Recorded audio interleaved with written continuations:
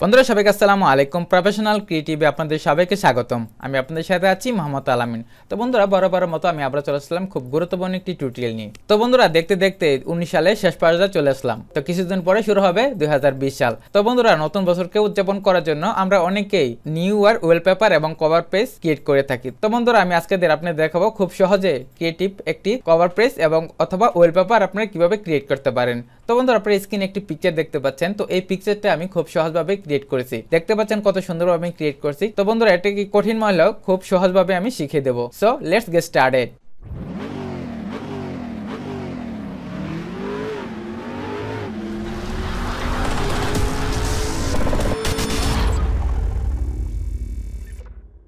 welcome back guys প্রথমত আমার Photoshop open করলাম। অ্যাডব ফটোশপ সিসি আপনারা যে কোনো বাসন ইউজ করতে পারেন। তো বন্ধুরা ফটোশপ ওপেন হওয়ার পর আমার যে ওয়েলপেপারটি আছে এটা আমি ফটোশপে ওপেন করলাম। তো বন্ধুরা, দেখতে পাচ্ছেন এরকম লাইটিং ওয়েলপেপার আপনারা গুগলে সার্চ দিবেন লাইটিং ওয়েলপেপার অথবা লাইটিং ব্যাকগ্রাউন্ড লিখে আপনারা সার্চ দেবেন, এরকম হাজার হাজার ব্যাকগ্রাউন্ড অথবা ওয়েলপেপার পেয়ে যাবেন। তো এটার উপরে আমার যে টেক্সটটি আছে, এটা আমি ক্রিয়েট করব। তো এর জন্য যে কাজটি করতে হবে, প্রথমত আমরা এই টুলে চলে গেলাম রেক্টেঙ্গেলের টুল এখানে এটাকে সিলেক্ট করলাম। সিলেক্ট করে তো বন্ধুরা, আমার মতো ডিজাইন করতে চাইলে জাস্ট এরকম করবেন। এতটুকু হচ্ছে আমরা সিলেকশন করলাম এই টুলটা দ্বারা। তারপর এটাকে দেখতে পাচ্ছেন ব্যাকগ্রাউন্ড লেয়ার আছে। এখানে আমি কন্ট্রোল জে দিয়ে আরেকটি লেয়ার নিয়ে নিলাম। তো বন্ধুরা, তারপর যে কাজটি করতে হবে, এটাকে কন্ট্রোল ধরে সিলেকশন করতে হবে। সিলেকশন করে কন্ট্রোল শিফট আই দিয়ে ইনভার্স করতে হবে। তো ইনভার্স করে নিলাম। তারপর আমি হচ্ছে ব্রাশ টুলটা সিলেক্ট করলাম। দেখতে পাচ্ছেন, এখানে ব্রাশ টুল সিলেক্ট করলাম। উপরে কালারটা থাকবে ব্ল্যাক তো বন্ধুরা, এখানে অপাসিটি আপনারা ফিফটি করে নেবেন। ফিফটি করে নেওয়ার পর একটু ব্রাশ টুল দিয়ে জাস্ট হালকা করে আরেকটি লেয়ার নেবেন এখানে ব্রাশটে ব্রাশ করার জন্য। তো আমি আরেকটা লেয়ার নিয়ে নিলাম, তারপর হচ্ছে এখানে আমি সুন্দর করে একটু শ্যাডো ক্রিয়েট করে নিলাম।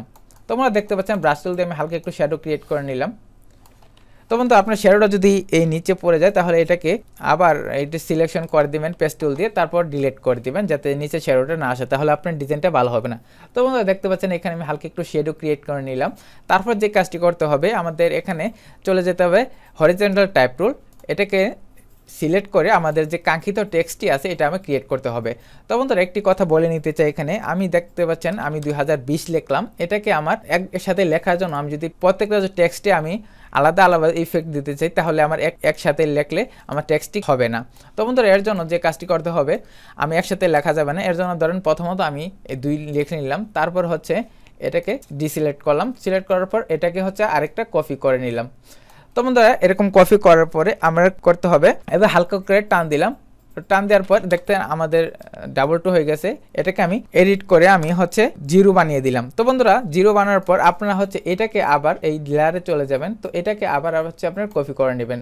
কপি করার পর দেখতেন চারটি হয়ে গেল। তারপর উপরে যে দুইটা আছে, এটাকে সিলেকশন করে এভাবে সুন্দর করে আবার নিয়ে নেবেন। দেখতে পাচ্ছেন বন্ধুরা, দুই হাজার বিশ কিন্তু হয়ে গেছে আমাদের। তারপর যে কাজটি করতে হবে সবগুলো টেক্সট সিলেক্ট করবেন। সিলেক্ট করার পর এটাকে একটু বড় করে নিতে হবে। এর জন্য কন্ট্রোল টি সিলেক্ট করবেন। তারপর অল্টা শিপ চেপে আপনার এটা সুন্দর করে আপনার যতটুকু প্রয়োজন মনে হয় এটাকে সুন্দর করে এভাবে বড় করে নেবেন। তো বন্ধুরা, আমি এতটুকু রাখলাম। তো বন্ধুরা, দেখতে পাচ্ছেন আমাদের টেক্সটি হয়ে গেছে। তো বন্ধুরা, এখানে আমি কিছু ডিজাইন করব। তো বন্ধুরা, প্রথমত আমার যে দুইটা দেখতে পাচ্ছেন, এই দুইটা আছে। এই দুইটাকে আমি একটু বাঁকা করে নেব। কন্ট্রোল টি দিয়ে ট্রান্সফর্ম করে এখানে আপনারা যে কোনো ডিজাইন করতে পারবেন এভাবে। আরেকটা কথা এই লেয়ারগুলো দুইটা সবার উপরে দিয়ে দিবেন। একদম উপরে দিয়ে দিবেন। আমি লেয়ার প্যানেল একটু বড় করে নিই আপনার বোঝার সুবিধার্থে। তো বন্ধুরা, এখন যে কাজটি করতে হবে, আপনার যে দুইটা আছে দুইটা একটু হালকা একটু বড় করে নেবেন। আমার মতো সুন্দর করে ডিজাইন করবেন, আপনাদের ওয়েলপেপারটা অনেক সুন্দর হবে। তো বন্ধুরা, তারপর হচ্ছে জিরোটাকে একটু নিচে নামিয়ে দিবেন এভাবে ধরে। তারপরে যে আবার দুইটা আছে, এটাকে এভাবে হালকা একটু ব্যাকা করে দিবেন। আর আপনারা চাইলে এই দুইটাকেও একটু ক্লোজ করতে পারেন। তো বন্ধুরা, উপরে যে জিরোটা আছে, এই জিরোটা হচ্ছে আপনার এই লেয়ারের উপর উঠাই দিবেন, সবার উপরে উঠাই দিবেন। এটাকে হালকা একটু সাইজটা বড় করে নেবেন। তো বন্ধুরা ফলো করবেন, আমি কীভাবে করি জাস্ট ওইভাবে আপনারা ডিজাইনটা দেখে নেবেন। তো বন্ধুরা, এখানে দেখতে পাচ্ছেন টু আছে টুর উপর আমি ডাবল ক্লিক করলাম। তো এখানে আমি কিছু এফেক্ট অ্যাড করব। তো এর জন্য যে কাজটি করতে হবে, এখানে দেখতে পাচ্ছেন গার্ডিয়ান ওভারলে তো এখানে ক্লিক করলাম। তো বন্ধুরা, আমি এইটাকে আগে করে রেখেছিলাম, এর জন্য আমি এটাকে রিসেট করে নিলাম। তারপর যে কাজটি করতে হবে, এখানে ক্লিক করবেন। ক্লিক করে যে উপরটা আছে, প্রথমটা, এটাকে সিলেক্ট করে দিবেন। সিলেক্ট করার পর তোমরা এখানে ক্লিক করবেন। ক্লিক করার পরে, এখানে দেখতে পাচ্ছেন কালার এক্সপোর্ট নামে একটি টুলস আছে, তো এখানে ক্লিক করবেন। ক্লিক করার পরে দেখতে পাচ্ছেন এখানে কালারটা আছে ব্ল্যাক। তো বন্ধুরা, এখানে একটি কালার কোড আছে। এই কালার কোডটা আপনারা দিয়ে দিবেন। তাহলে আপনাদের যে ডিজাইনটা আছে অথবা কালারটা আছে, এটাকে আরও সুন্দর করবে।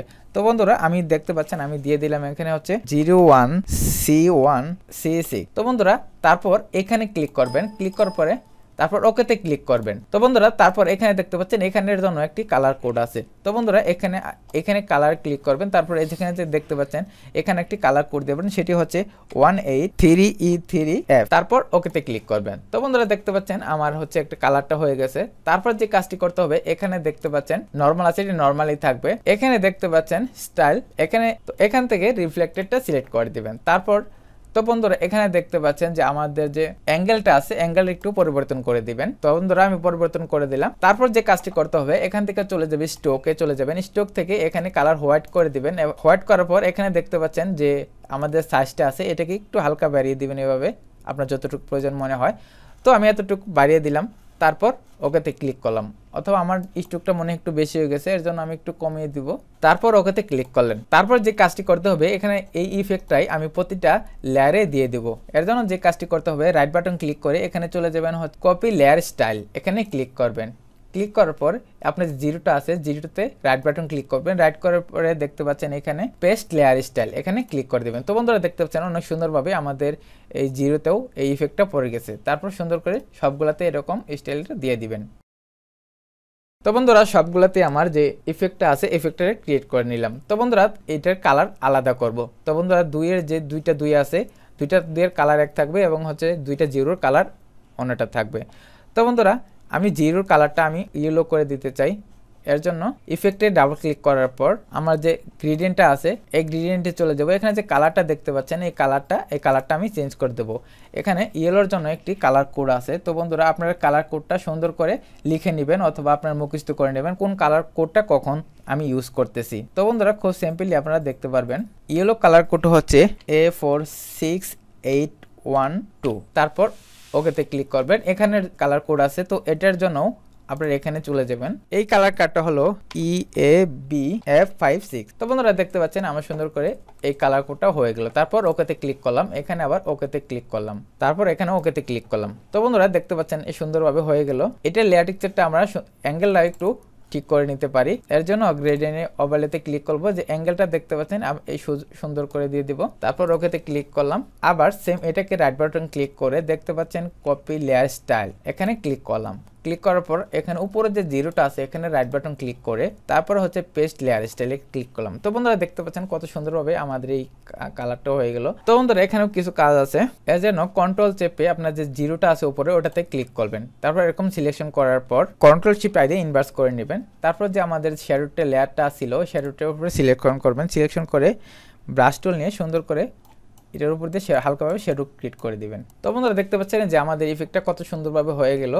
খুব কালারফুল দেখাচ্ছে। তো বন্ধুরা, এখন লিখতে হবে হ্যাপি নিউ ইয়ার এটিকে লেখার জন্য, এটিকে আমার লেয়ারগুলো সবগুলো অফ করে দিব।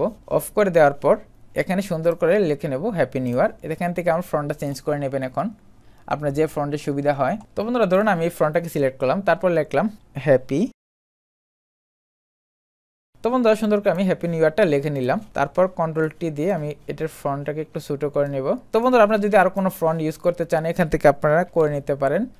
ধরেন আমি ফোনটাকে চেঞ্জ করে নিলাম। তারপর যে কাজটি করতে হবে, এটাকে সুন্দর করে বড় করে নেবেন, আপনার যতটুকু প্রয়োজন মনে হয়। তারপর এটাকে কন্ট্রোল ধরে এটাকে সিলেকশন করবেন। সিলেকশন করে এটাকে ডিলিট করে দিবেন। তারপর ব্যাকগ্রাউন্ড লেয়ার সিলেক্ট রেখে কন্ট্রোল জে দিবেন। তারপর দেখবেন লেয়ার ক্রিয়েট হয়ে গেছে। তো বন্ধুরা, এটাকে সবার উপরে নিয়ে নেবেন।